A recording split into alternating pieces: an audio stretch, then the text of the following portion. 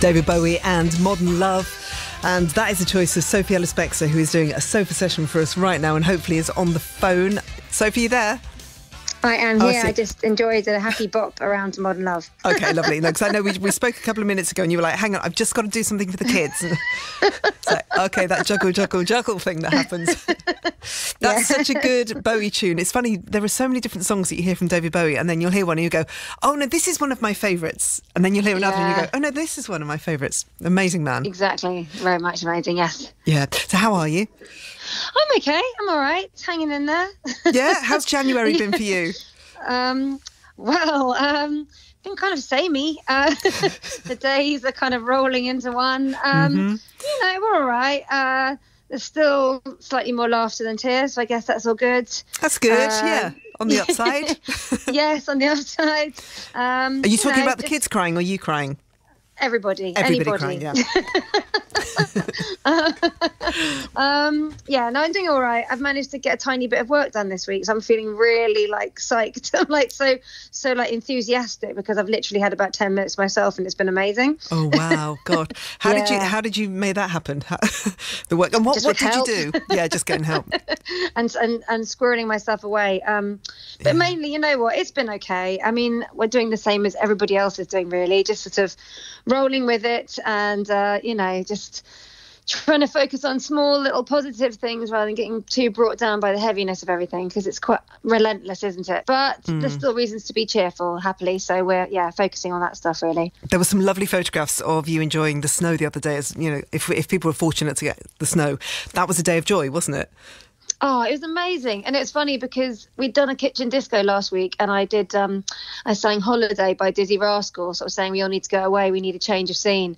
And then, like two days later, the entire world looked different, cloaked in white. I thought, well, it's not quite what I meant, but it still is a change of scene, I guess. So, so yes, I'll take it. I'll take it. And yeah, we made a snowman, and I got the kids out super quick into it. And um, Mickey had never seen it before, really. He's two, oh.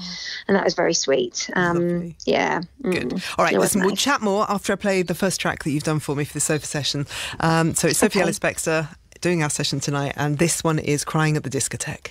Relax, sit back and just enjoy the music. The Sofa Sessions on BBC Radio 2.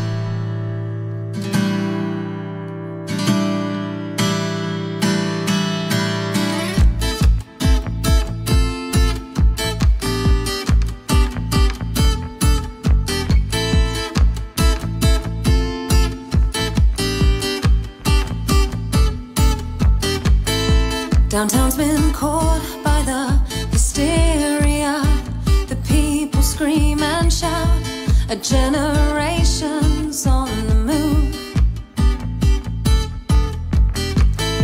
When disco spreads like a bacteria, the lonely days are out. Behold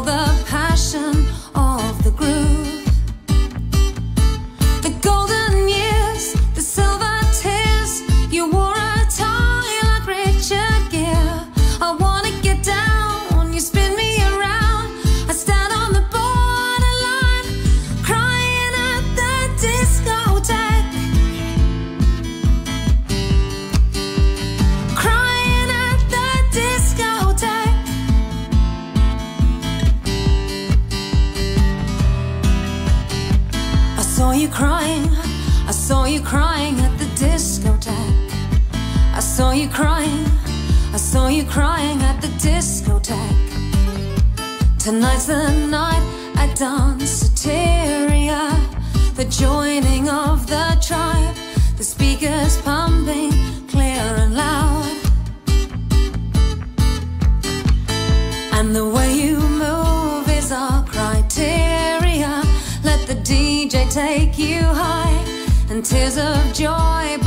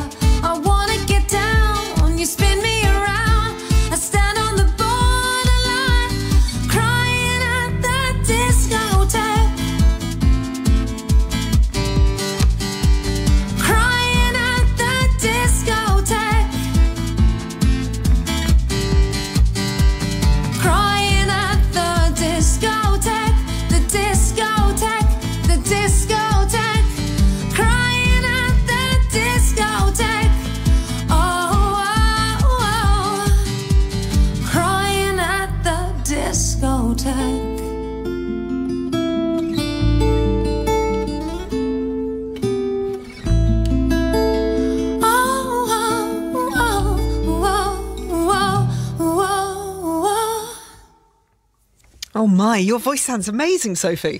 Sophie Ellis Oh, by the way, you just listened to. Gorgeous, really lovely. Where did you record this? How did it happen? Um, so got um, Pedro on guitar, Pablo on guitar. He's put, did it at his house, and then yeah, I did it remotely, really down the line, same as everybody's doing, really. And um, you know what? I've just really enjoyed any and every opportunity I've had to sing. It's just been so. I've really just sort of thrown myself into any opportunity, which is probably annoying the hell out of most of the kids because I do it around the house a lot. But it's just like that's my a sort of happy place I can head to. So thank you for giving me a legitimate reason to sing. oh no, we're really grateful. It's, it's just great to have you on the show. Really, you've been doing the the kitchen disco. Um, I mean, you've been so extraordinarily busy throughout the entire lockdown from the very beginning it began.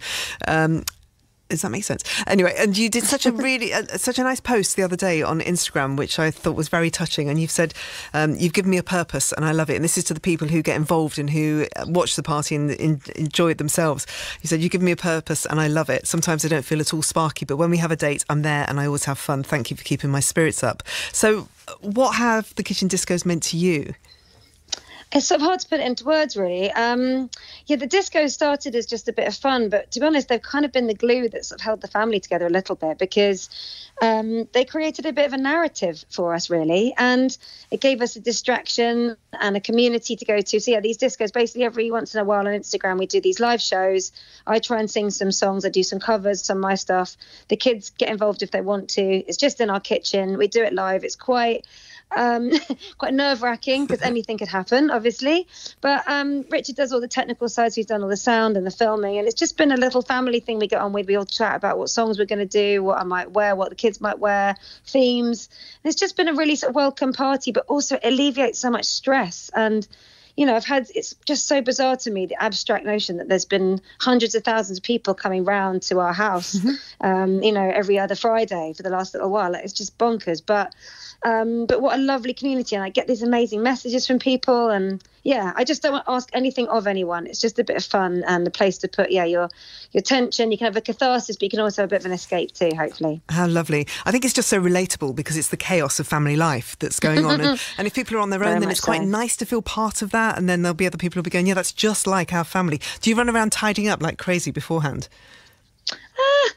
Yeah, I, I bet you did the first time. Tell, if not. yeah, exactly. The first time, uh, we've got like a little system, really. I think of it a bit like, um, do you remember in Mary Poppins how the Banks family lived two doors down from an admiral who blow, fires Yes, a cannon, yes. and they know that at eight o'clock in the morning they've got to quickly go to their post and hold everything down while the cannon goes off. It's a bit like that. So it's a bit like we're about to do disco, and everybody's like, right, move that box, move that, tidy that table, all right, put that in the sink, shove that out the way, right, we're ready. Good discipline, then- good And discipline. then off we go. Yeah, exactly. okay, right. We'll have another song from uh, Sophie and then we'll chat more the other side of this. And this is Murder on the Dance Floor. BBC Radio 2. The Sofa Sessions.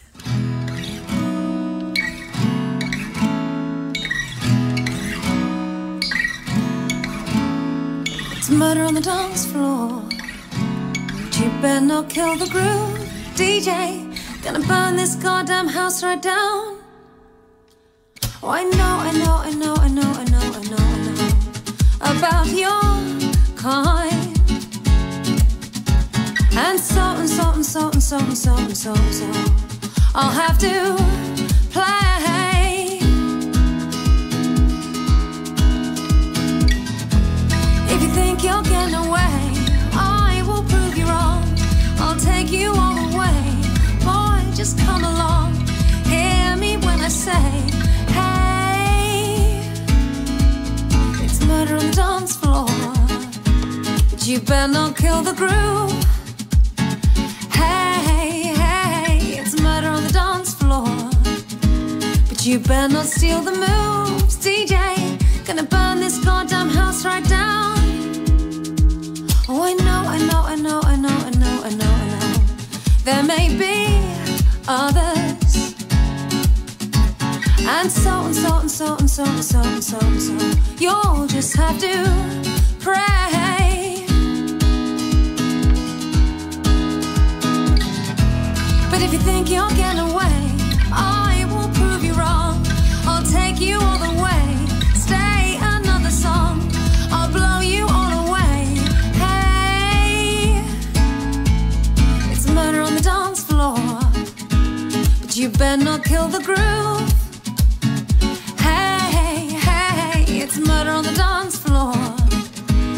You better not steal the moves, DJ. Gonna turn this house around somehow. Murder on the dance floor. But you better not kill the groove. Hey, hey, hey, it's murder on the dance floor. But you better not steal the moves, DJ. Gonna burn this goddamn house right down.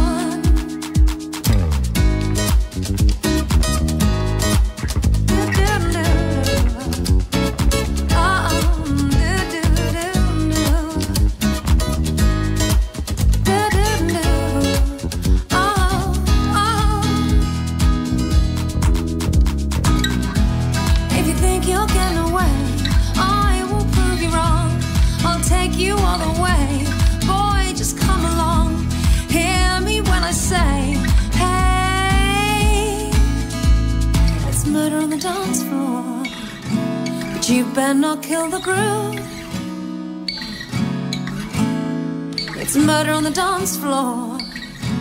But you better not steal the moves, DJ. Gonna burn this goddamn house right down. Murder on the dance floor. But you better not kill the groove. Hey, hey, hey, it's murder on the dance floor. But you better not steal the moves, DJ. Gonna burn this goddamn house right down. Murder on the dance floor. But you better not kill the groove. Dance floor. But you better not steal the moves, DJ. Gonna burn this goddamn house right down. Sophie Ellis Bextor in a sofa session scenario for us on this show, and that was Murder on the Dance Floor. And Sophie's talking to us as well. So that's featured on the album Songs from the Kitchen Disco, which was inspired by the Kitchen Disco nights that you were doing. Is that right? Yeah, so basically during the discos, I've been singing uh, my singles throughout the last seven albums and album tracks. And after a while, I thought it'd be quite nice to put together a greatest hits that kind of is a tribute to everything we've been doing. So yeah, it's an album with all the singles that I sang during the discos, but also some of the cov- covers that I did as well. So there's things like Pulp and New Order and all sorts of stuff in there. Even Julie Andrews has a feature. So yeah, Yeah, I just let my imagination run riot. And the video, I just want to talk, go back to the first song that I played tonight, and that was um, uh, what was the first one that we did? Crying at. Crying Disco. yeah. Yeah. Um, and tell me about the video for this. So the video was filmed uh, in one day, and um, a friend of mine called Sophie Miller, who's an amazing director, we went to seven different empty venues across London.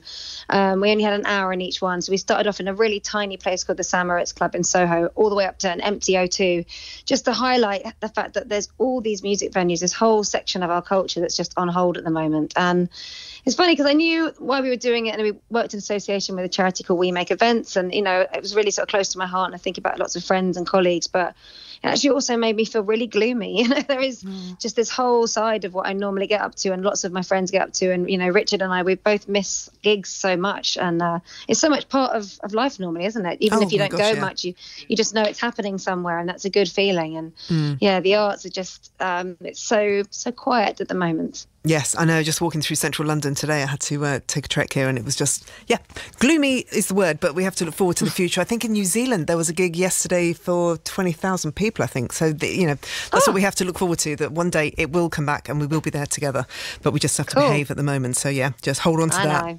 that. um, you mentioned Julie Andrews, and that takes us to the final track that you've recorded for us. Oh, yes. Okay, so tell me about this song. Um, so yeah, a, lot of the songs I've been singing in the the discos have been songs that kind of remind me of happy times. And for me, Julie Andrews is just the voice from my childhood. Um, so again, this is recorded with uh, with Richard at home and Pablo on guitar, and it's just um, you know goes back to the sound of music and the innocence and the joy that I get from thinking about those movies. And I mean, Julie Andrews is just just a wonderful voice, isn't she? So Oh, yeah. yeah, it was, As- it as was just people a joy to do. Sorry, I was going to say, as people who watch Bridgerton will uh, testify to at the moment. Yes, exactly, exactly. And uh, yeah, it's just you Okay. can't beat Rodgers and Hammerstein. Basically, it's All the right. best. Let's play it and we'll chat for the final time after this. BBC Radio 2. The Sofa Sessions. People can sing along to this. Raindrops on roses and whiskers on kittens, bright copper kettles and warm woolen mittens, brown paper packages tied up with strings. These are a few of my favorite things. Cream colored ponies and crisp apple strudels, doorbells and sleigh bells and schnitzel with noodles, wild geese that fly with the moon on their wings. These are a few of my Girls in white dresses with blue satin sashes, snowflakes that stay on my nose and eyelashes, silver white winters that melt into springs. These are a few of my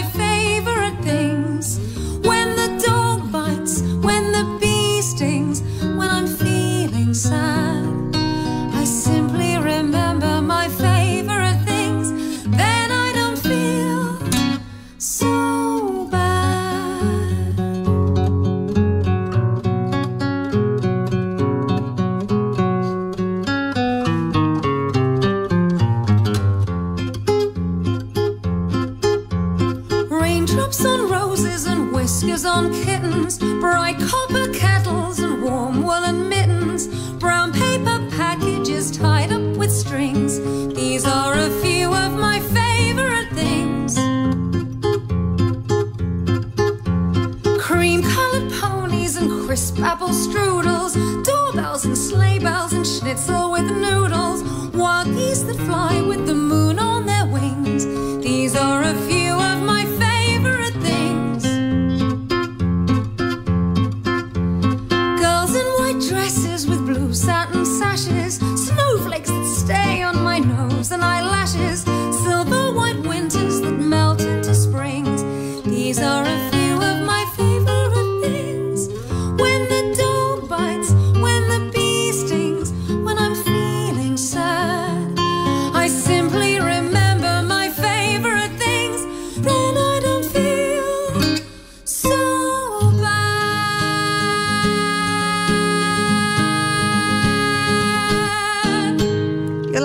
chirruping at times when you sing, Sophie. that was gorgeous. My favourite things. Uh, Sophie Ellis Bextor, sofa session for us tonight on the show.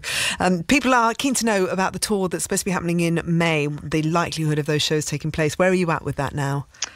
Well, at the moment, I sort of know as much as anybody, really. So, not much. We're kind of waiting to see what happens, I guess, with the vaccine rollout and whether things keep on track. Um, I think it's something we'll have to make a decision on in the next couple of weeks. And as soon as I have a definite answer one way or the other, I'll be definitely letting people know. I mean, my tour is one of many happening in May. So, you know, people are kind of probably quite used to the fact now that, you know, we just got to roll with this a little bit, haven't we? Absolutely, yeah, no, everyone knows. Um, we were talking off air about the kids and about how they're all coping with everything that's going on, and yours, like mine, range in ages quite dramatically. So I was just wondering hmm. how, how they were all getting on with it with the with the lockdown.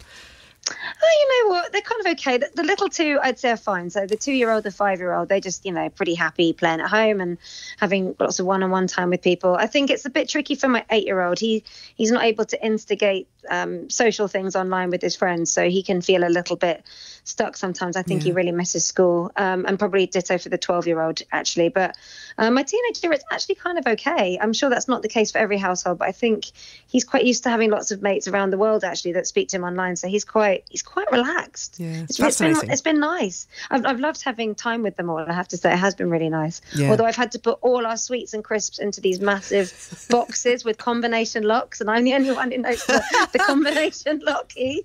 So that's that's a new thing. That's a new lockdown. Sounds very sensible. People will be going, right, I'm doing that. We have some rules now. And we could, they could just say, right, if Sophie says that we're doing this, that's what we're doing. It was total necessity. They were just running out. I just my my you know my supplies were getting depleted very very quickly. oh, the amount of food that you get through is insane, isn't it? yeah, exactly. Okay, um, we're thank you so much for doing the sofa session. It's been really nice to catch up and talk to you. It always is lovely. Um, Pete, ditto. Pete says wonderful to hear Sophie live again. How she balances five kids and making music, I just can't imagine. I think it's that spinning plates, which is what your podcast is all about, isn't it? Exactly that. Yeah, I didn't realise when I started the podcast back in March quite how appropriate a title it's going to be. Okay, we're going to play the final track, and uh, this is a childhood song or a song that you've chosen for us to play tonight. Tell us about it. It's from Toni Basil. Ah, okay, yeah, because I gave a couple of options. So, okay, so this is basically, I'd say it's maybe my favorite song of all time. Um, I loved it since I was a little girl. I had it on a VHS, the video, and I used to watch it on repeat. Um, I've actually said I want it played at my funeral, which is maybe quite an odd, odd choice, but there you go. Um, and now I have a little one called Mickey, so you know it's even more appropriate. And uh, I think I was just very inspired as a kid by by the urgency and immediacy of the of the pop in the song, and also by her crazy makeup and eccentric dancing. Yeah, I can remember the video instantly as soon as I think about this song. Um, Exactly. Okay, we shall play it for you now, and we'll play it for Mickey and uh, Sophie. Thank you so much, and love to Richard too, and all the rest of the kids. Oh, thank you. And can I also say thank you to Pablo, who I basically panicked. I've worked with Pablo for like a decade and I got his name wrong. Sure, it's not Pedro. You sure it's not Pedro after all these years? I don't even. I don't even know a Pedro. and Richard was like, "Why didn't you just say you recorded at home with me?" I was like, "I don't know. I just sort of panicked and said this down the line. I don't even know what that means." I'm happy for your analogy of me being a little bird just chirping on a windowsill somewhere. That's probably the most accurate way of how I did it. Sophie, thank you so much. Thanks, Richard, and also to Pablo. Take care. yeah, exactly. Bye. Lots of love. Bye.